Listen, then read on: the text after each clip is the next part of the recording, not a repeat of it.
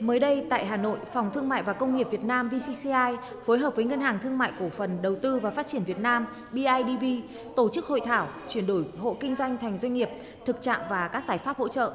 Tại hội thảo, Tổng thư ký Phòng Thương mại và Công nghiệp Việt Nam VCCI bà Phạm Thị Thu Hằng cho biết, trong nhiều năm qua, các hộ kinh doanh ngày càng tăng trưởng về số lượng, đóng góp to lớn vào việc tạo công an việc làm và cung cấp các dịch vụ cho nền kinh tế. Vì thế trong những năm qua, chính phủ đã có những chính sách khuyến khích hộ kinh doanh đủ điều kiện chuyển đổi lên mô hình doanh nghiệp. Tuy nhiên trong thực tế còn nhiều hộ kinh doanh mặc dù đã phát triển tới một quy mô tương đối nhưng vẫn không muốn chuyển đổi lên mô hình doanh nghiệp. Chính vì vậy tại hội thảo, các đại biểu đã đối thoại trực tiếp với các cơ quan quản lý nhà nước, tổ chức tín dụng, ngân hàng, vân vân để hiểu thêm về những lợi ích khi chuyển đổi từ mô hình hộ kinh doanh lên doanh nghiệp, tạo điều kiện cho doanh nghiệp tiếp cận vốn và dịch vụ ngân hàng.